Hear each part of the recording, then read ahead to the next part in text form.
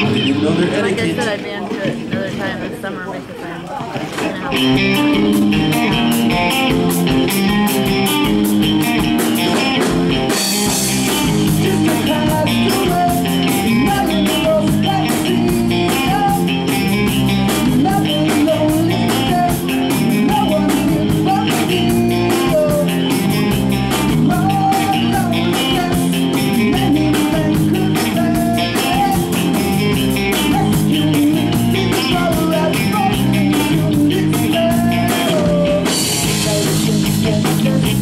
Thank you.